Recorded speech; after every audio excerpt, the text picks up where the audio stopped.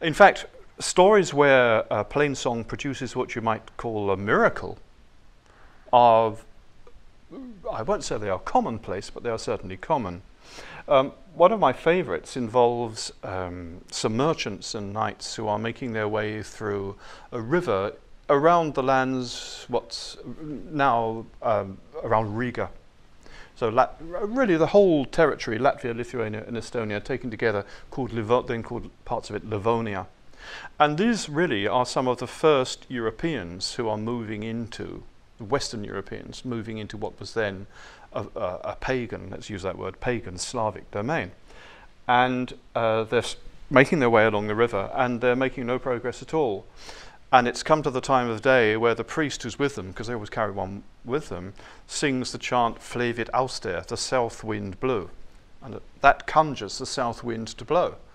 So their ship moves forward. And the thing that I like about that story is it is both in a way exhilarating and yet increasingly over the years perhaps come to seem more and more sinister. It's exhilarating because it's part of that grand narrative that's told less often now than it used to be of the making of Europe of the triumph of Europe, because this is in fact a Western European Latin Christian civilization pushing its religion and pushing its traders into what had been a totally self sufficient, independent, unknowing community of Slavic pagans.